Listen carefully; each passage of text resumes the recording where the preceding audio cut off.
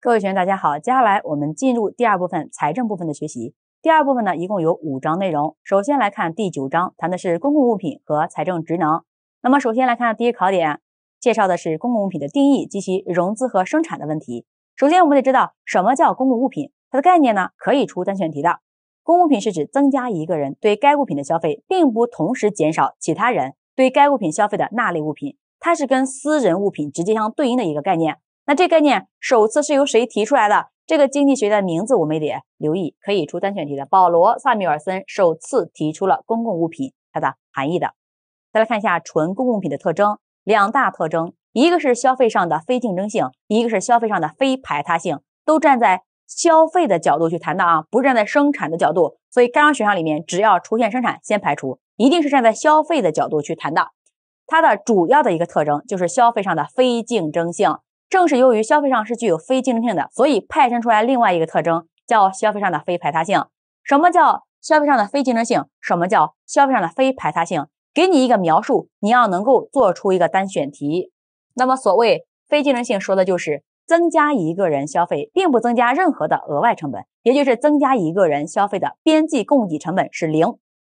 强调的是集体去提供公共物品能获得潜在的一个收益，而。消费上的非排他性谈的就是一种公共物品一旦被提供出来，要排除一个额外的消费者，在技术上是不可行的。即便是技术可行，其实也要花费大量的一个成本，所以站在整个社会整体福利角度来说是不可取的。因此，强调通过市场机制去提供公共品是有潜在的困难的，还应当是由集体去提供。所以从这两个方面一分析，公共物品就应当是由集体去提供的。那这个地方纯公共物品哪两个特征？多选题。每个特征给你一段描述，你能不能对应的选出来单选题？这两个单选题你要能够选出来。还有谁是主要特征？单选题。另外谁是主要特征？谁是派生特征？放在多选题里面，你要能够做出来选择。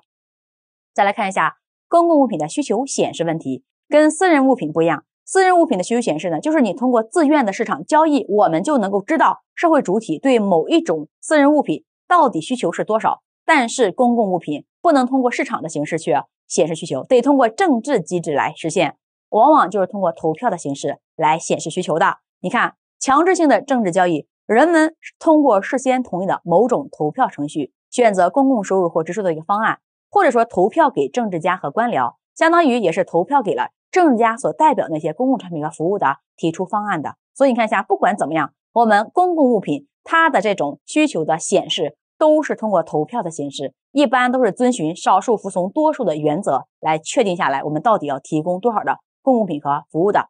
另外，我们得知道公共物品谁来融资，谁来生产。所谓融资，那就是谁来付费，怎么来付费的问题。所以，谈谈这个公共物品的融资有三种情况，一个呢是政府融资，政府融资显然政府通过税收的形式先把钱拿上来，再来提供公共产品服务，显然税收是强制的，因此这是一种强制的融资。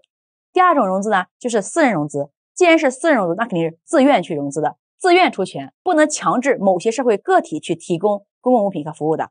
第三种呢，就是政府和私人联合起来，这叫联合融资。一共有三种融资的思路，这三种还会细化考察。我们来看一下，首先来看政府融资。传统的这些理论都认为，公共物品和服务应当由政府去出钱的，就是政府来融资，就是我们刚才说的，通过税收的形式先把钱拿在手里，然后再提供。公共品和服务，这是一种强制的融资。这种融资的思路和原因，是因为有免费搭车的情况存在。所谓免费搭车这个概念，别看简单，之前也是考过的。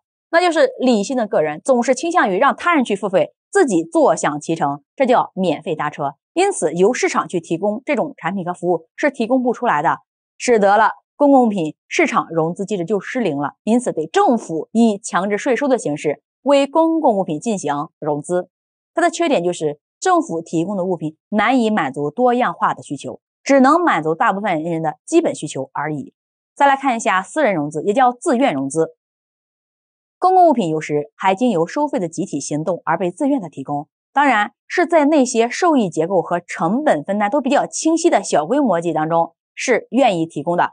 如果受益结构和成本分担不太清晰，也不太容易去提供公共品和服务的。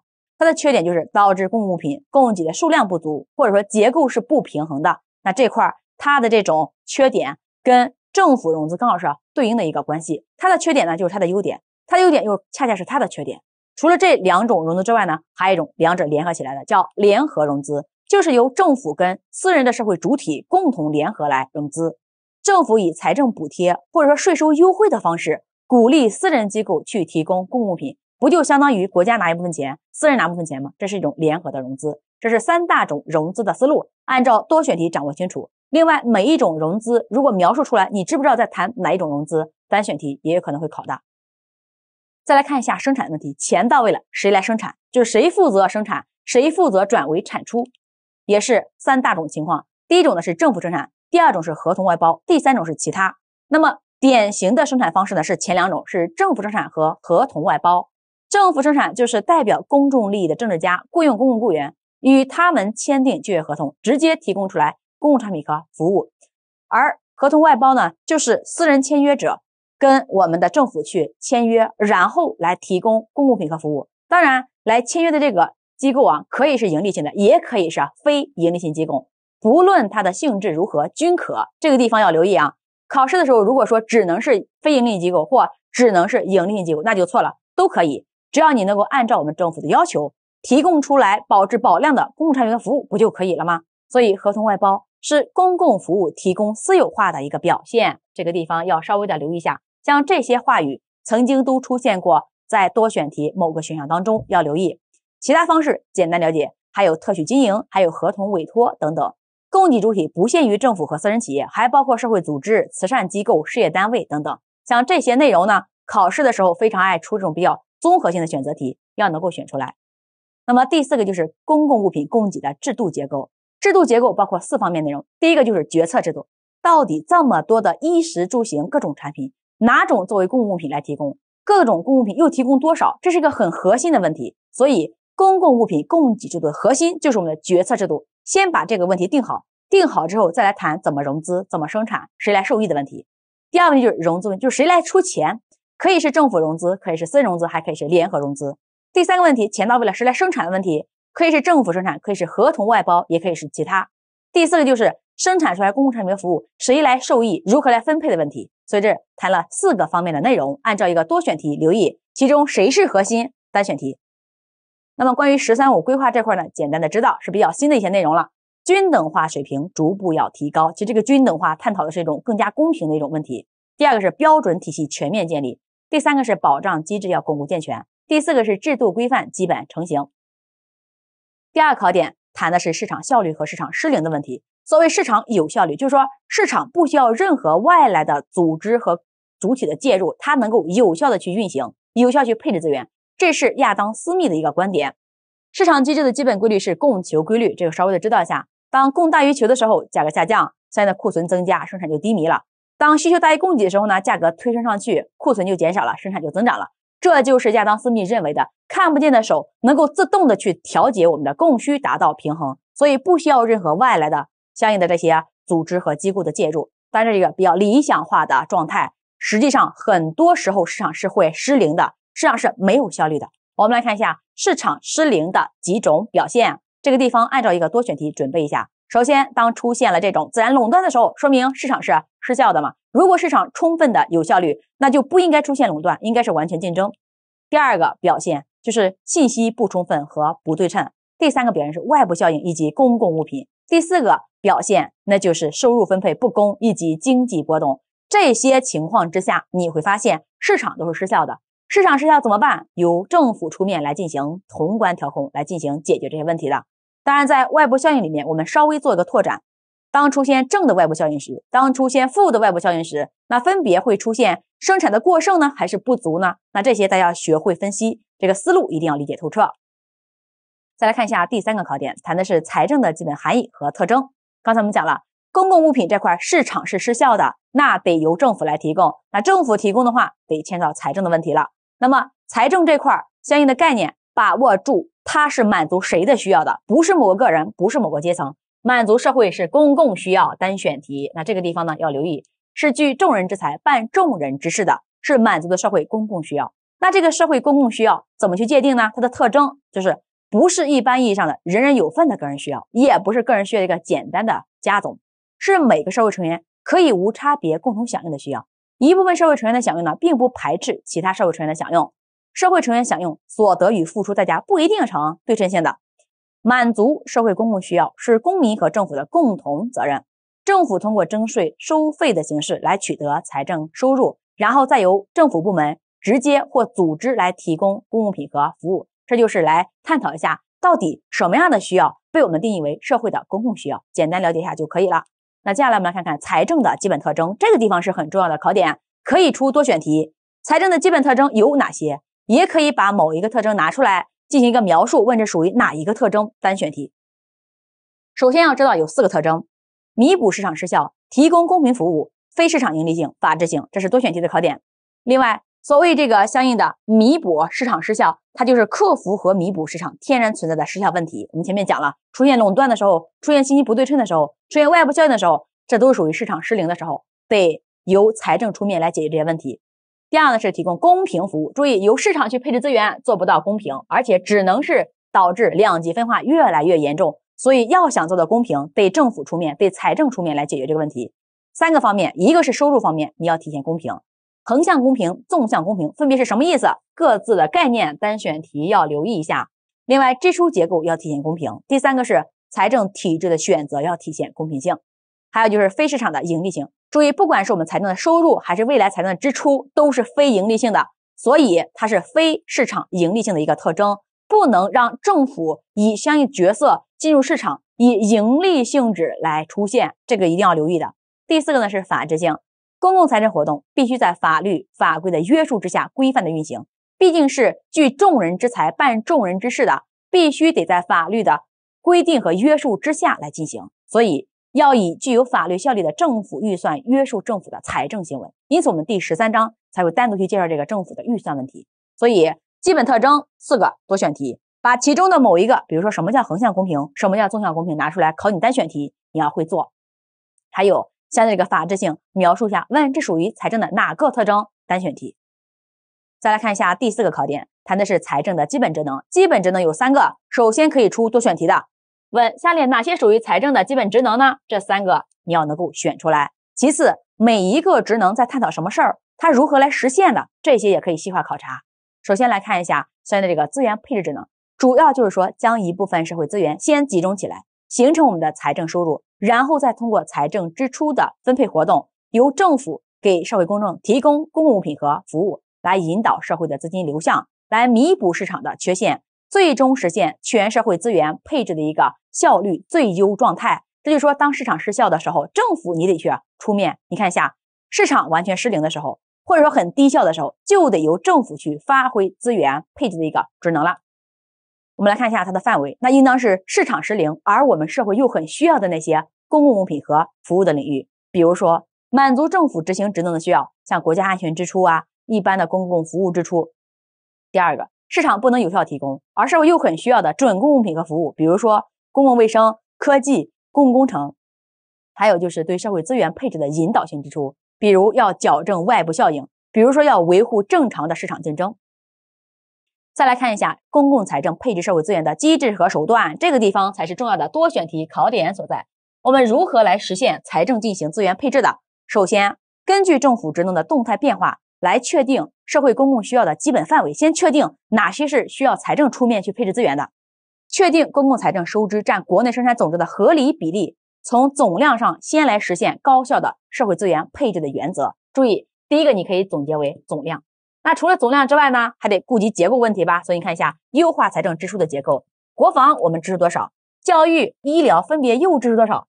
所以你看，第一个是总量，第二个是结构，它都是属于我们资源配置要实现的这个机制和手段问题了。第三个，为公共工程提供必要的资金保障。我们前面讲了，公共工程呢是社会需要的，但是市场又不能去配置的。第四个。通过政府直接投资、财政贴息、税收优惠等方式来引导和调节社会的投资方向，提高社会整体的投资效率，这是站在引导投资、提高投资效率的角度去说的。你可以总结为投资。那么第五个，通过实行部门预算制度、建立国库集中收付制度和绩效评价制度等等体制和机制改革。为什么做这种改革呀？是为了提高财政自身管理和运营的效率的，这是提高自身的效率的。因此，相应的我们要实现财政的资源配置的这个职能，通过什么样的机制和手段？五个，一个是总量的问题，一个是结构的问题，一个是公共工程的问题，一个是投资问题，还有一个是自己的效率问题。把这个五个关键词把握清楚，那考多选题的时候，直接去对应的选这些关键词，基本上都没有问题。再来看一下第二个职能，叫收入分配职能。我们说了，由市场去配置收入分配的话，肯定最终会使得有钱人越来越有钱，穷的人呢越来越穷，所以两极分化越来越严重了。谁能实现公平分配问题呀？那只有政府出面了，就得财政出面了。所以目标就是实现公平收入分配。这个地方，公平收入分配可以出一道单选题的。另外，财政实现收入分配职能的机制和手段又有哪些？多选题。那你看一下。像这些套路是一样的。第一个，根据市场和政府的职责分工，你先明确一下哪些该市场管，哪些该政府去管。那么该市场管的，政府不要插手；该政府管的，政府你又不能缺位。要先弄清楚范围和界限的问题。我们说牵扯到这种效率的问题呢，应该由市场去配置，由市场去分配。那牵扯到这种公平的问题的时候，那得由政府去分配了。所以先把范围和界限给它弄清楚。第二个，加强税收调节，有钱的人多给国家交税。那么穷的人呢少交，那么非常贫穷的可能国家还得给他补贴呢。所以你看一下，通过税收来调节收入分配的差距。第三，发挥财政转移支付作用。转移支付那就是中央政府给地方政府，或者说平级政府之间给这种免费的资金支持的。第四个是发挥公共支出作用。这个公共支出呢，其实就是一些公共的福利，基本上是普遍的、广泛的都能够享受到的一种分配一种福利。所以你看一下。这种机制和手段，你也可以进行一个汇总。第一个，先弄清楚范围和界限，哪些该市场管，哪些该政府管。第二个，税收调节。第三个，转移支付。第四个，公共支出。这是站在广泛的、普遍的这种分配上面来提高社会整体的一个福利的。那这块多选题也要做一个区分。第三个职能是经济稳定和发展的职能。那这块主要是指财政活动对生产、消费、投资和储蓄等发生影响。达到稳定和发展经济的一个目的。那么四大目标：实现充分就业、物价稳定、经济增长以及国际收支平衡。注意，前面我们这两个职能呢，基本上有一个比较明确的一个任务在身上的，一个是进行资源配置，一个是进行收入分配的一个公平的。但是我们第三个职能，你会发现我们这个相应的目标去站的高度更高了。我们是维持社会资源在高水平利用状态下一个稳定。注意啊，一定是在高水平利用下一个稳定。所以要保证整个宏观经济的一个正常的稳定和发展的，所以说它相应的是更全面的一个职能。那如何来实现它的这种职能呢？它的机制和手段多选题。所以你看一下这三个多选题套路是一样的，通过财政政策和货币政策的协调配合，推动社会总需求和总供给的基本平衡，保证物价和经济发展的稳定，实现充分就业和国际收支平衡。但凡谈到宏观经济目标的，那肯定是我们第三个职能里面的第二个。通过税收补贴啊、财政贴息、公债等调节社会投资需求水平，通过财政直接投资调节社会经济结构，调节社会有效供给的能力。你看，一个是需求这块，一个是供给这块，也是站在经济这块需求和供给来探讨的。第三个，通过税收调节个人消费水平和结构。注意这里面啊，也是有税收调节，但它调节是消费水平，所以跟投资、跟消费、跟储蓄有关系的。这是我们第三个职能里面的。第四个。加大对节约资源、能源和环境保护的投入，加大对文教卫生事业的一个投入，完善社会保障制度建设等等。你看，这些都是属于比较宏观的一些层面的。因此，重点掌握住前两个职能的机制和手段。那么考试时候呢，遇到这种类型的题，你做排除就可以了。千万不要试图把每一条都记得很清楚，适当的时候用排除法会更好。那接下来再来看看第五考点，谈的是建立现代财政制度的问题。首先，主要的任务你得知道，要建立完整、规范、透明、高效的现代政府预算管理制度。现代政府预算管理制度是我们现代财政制度的一个基础，也是核心。要知道，我们现代财政的制度呢，其实不仅包括政府预算制度，还包括税收制度等等。但是最基础的、最核心的部分肯定是政府的预算制度。需要重点推进的改革和制度建设有什么？第一，实施全面规范的预算决算公开制度，强调是公开透明。实行中期财政规划管理，一般是编制三年期的滚动的这种预算，改进年度预算的控制方式，建立跨年度的预算平衡机制，全面清理规范财税的优惠政策，要清除这些地方保护主义色彩的，要建立定位清晰、分工明确的政府预算体系，加快建立权责发生制的政府综合财务报告制度。这些关键词要留意一下。那第二个呢，就是建设有利于科学发展、社会公平、市场统一的税收制度体系。那么，深化税制改革的目标取向有四个，这四个可以出多选题的。首先，第一个要优化税制的结构，提高直接税的比重，健全地方税种，科学划分中央地方税，不能直接去取消这个共享税的啊，而且要注意是提高直接税的比重，要降低间接税的比重的。第二个，完善调节功能，要引导地方政府更多去关注经济发展质量，而不是速度。第三个是稳定宏观税负，要将税负控制在合理的一个范围。第四个是推进依法治税，要加快税收立法的一个步伐。那这四个目标取向多选题的考点所在也是比较简单的。那接下来再来看看第三个呢，是健全中央和地方财力和事权相匹配的财政体制。你管多少事儿，你就拿多少钱，所以你的财权跟事权一定是匹配的。第一个呢是要完善中央和地方事权和支出责任的划分，先划分清楚这些责任，划分清楚之后，那相应的这些税收收入不就对应的起来了吗？所以要进一步理顺。中央和地方的收入划分，我们来看一下哪些属于中央税，哪些属于地方税。你得看这个税种的属性，像那些收入周期波动很大的，具有较强的再分配作用的，税基分配很不平衡的，税基流动性很大的，容易转嫁的税种，包括对宏观经济调控有极大影响的，那都应该归中央去管。而像那些具有明显的收益性的、区域性特征的，对宏观经济运行又不产生直接较大影响的，划归地方。所以是按照税种的属性去进行一个划分的。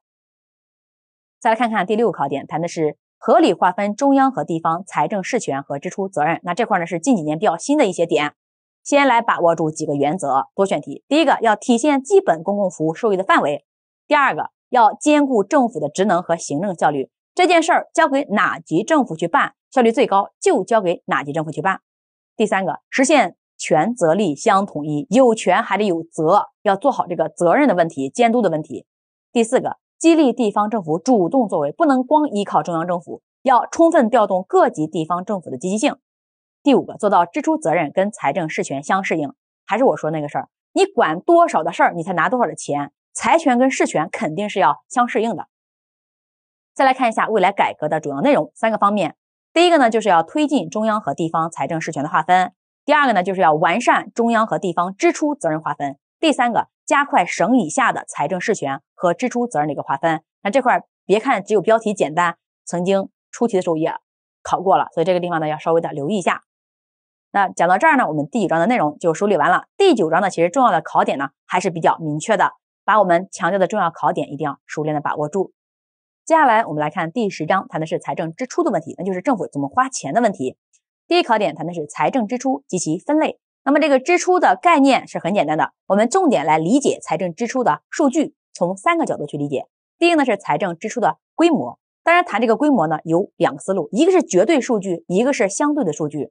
绝对数据就看看我们花了多少钱，这是一个总的绝对的一个规模。但是光看花多少钱，你不跟国内生产总值做一个对比的话，你不知道到底政府多大程度上控制了我们的社会资源。因此，我们一般都采用相对指标去衡量它，那就是。用财政支出总额来除以国内生产总值，看看这个比重，比重越大，说明我们政府实际上参与了社会经济活动的这个程度就越高。也就是说，政府支配了更多的社会资源。通过这个相对指标是更能够说明问题的。第二呢是财政支出的结构问题，就是说我们财政支出当中各类支出所占的比重是多少？我们一共提供了这么多的公共产品，那每种产品到底占比多少呢？国防占多少？教育占多少？医疗又占多少？这是谈的一个结构的问题。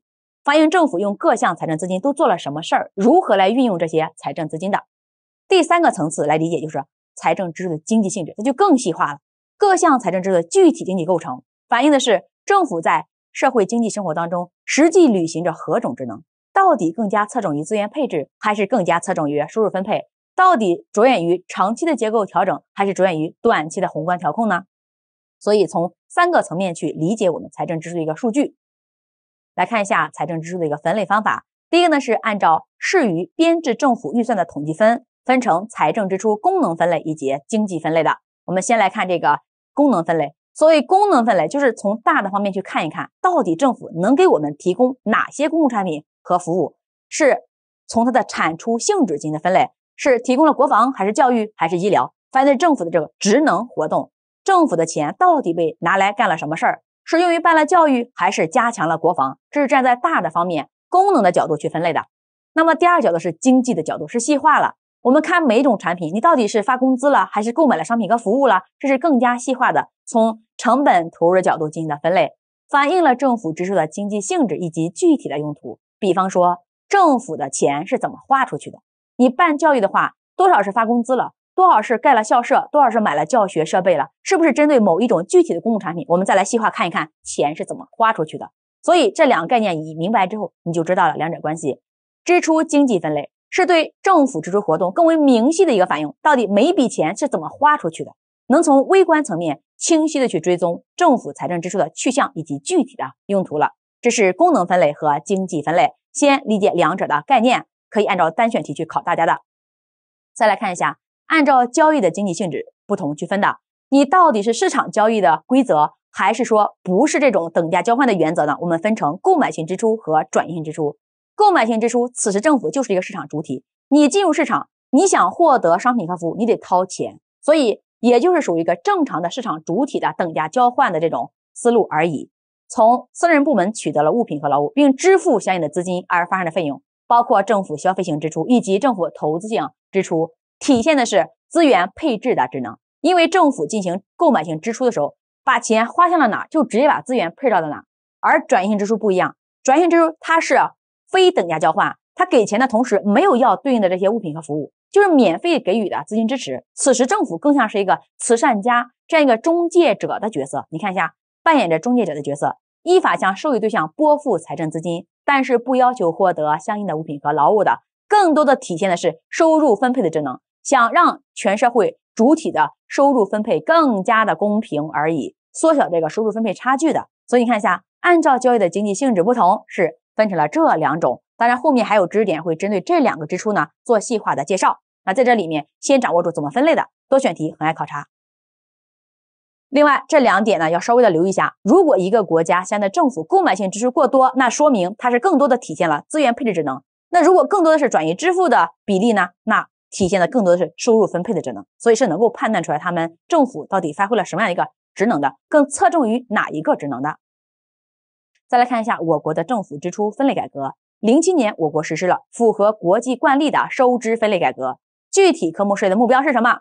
体系完善，反映全面，分类明细，口径可比，便于操作。我们也向国际看齐了，也进行了功能分类和相应的这个经济分类了。功能分类呢，设类款项三级。三级先知道一下。那么，一般公共预算支出功能分类的科目有哪些？这个是重要的多选题的考点所在。当然也可以出单选题的，所以这个地方呢，可以出题的这个方法还是比较多的。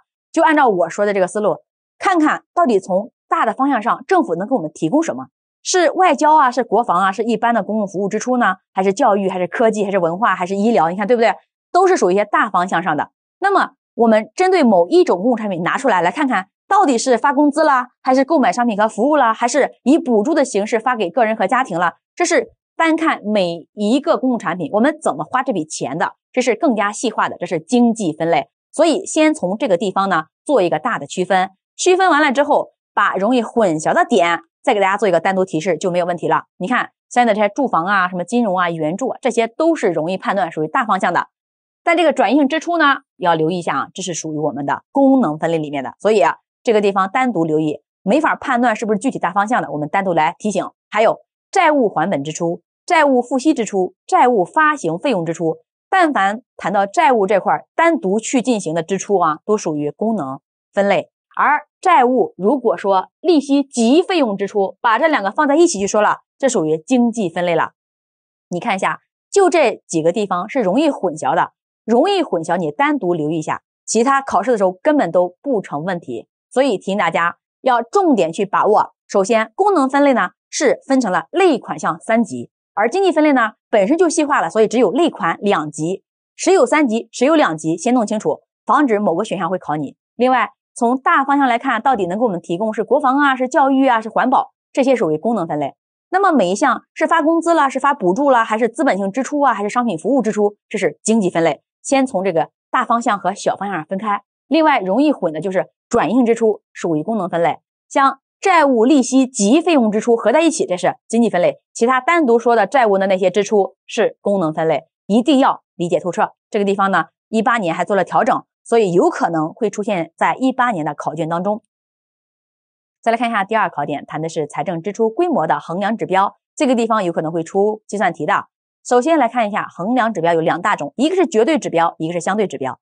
绝对指标就看看总的数额，我们今年支出了一百亿，那就是一个绝对的指标。但这一百亿到底占你 GDP 的比重有多少呢？说明不了问题吧？所以得用相对指标，更加科学的来表示我们政府控制资源的一个程度。在预算年度内，政府实际安排和使用的财政资金的数量。占相关经济总量指标的一个比率，一般都是看占整体的 GDP 的一个比重的。这个地方也可以出一个单选题的，体现了社会财力的集中程度，全面衡量政府的经济活动地位到底多少集中在了政府的手中啊，能够体现社会财力的集中程度的。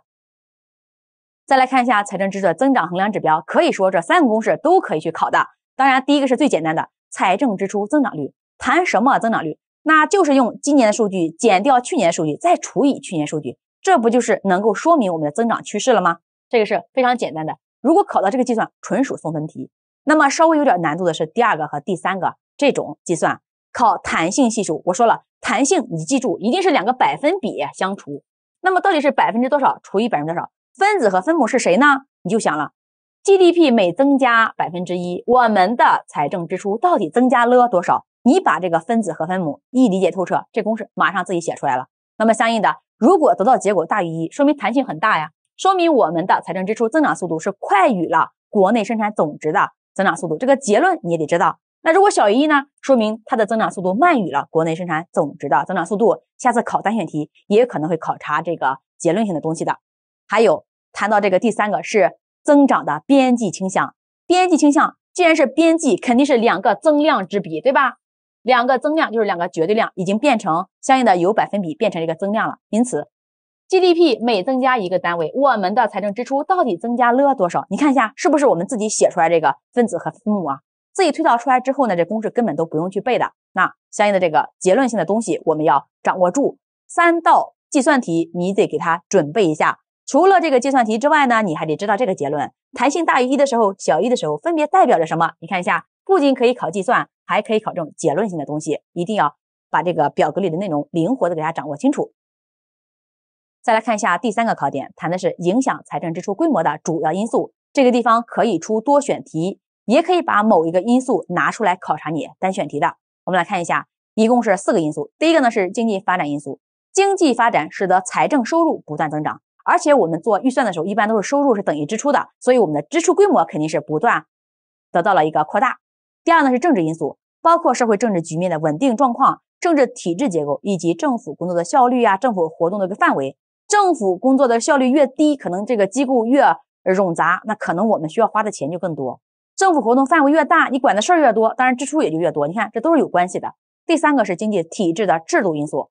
如果我们在全社会提供较高标准的高福利的这种制度的话，那么财政支出占 GDP 的比重必然要高啊。你给全社会提供较高的福利水平。显然你的财政支出得多拿出来钱吧？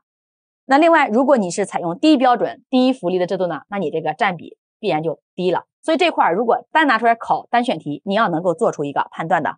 第四个呢是社会因素，比如说人口、教育、卫生、社会救济、城乡发展差距等等，都会对财政支出规模发挥重要影响。比如说人口，他考试的时候可能会给你扩展细化，说。老年人口比重比较高，你看一下，老年人口比重一高，你想想他创造这种财富的能力低了，但是呢，由于身体不太好，可能医疗的花费更高了。你想想，这种情况下，老龄人口的比重一旦过高，肯定财政支出的钱就更多了吧？所以你看看，对财政支出规模有没有影响？显然有。所以考试的时候不仅要记住几个大标题，如果把这里面的细化内容拿出来描述，你也能够判断出来，到底谁会影响我们的财政支出规模的。那这张表格呢，可以考多选，也可以考察单选题，要理解透彻。接下来再来看看第四个考点，谈的是购买性支出和转移性支出问题。刚才已经讲了分类的问题，现在呢，把它进行细化的介绍。首先来看一下各自的概念。购买性支出，其实前面已经说了，此时的政府就是一个市场主体，这是一个市场的行为，遵循着等价交换的原则。我拿钱出来，你给我对应的商品和服务。你看，从私人部门取得物品和劳务，并支付相应的资金而发生的费用。直接表现为政府购买商品和服务的活动，包括政府消费性支出以及投资性的支出。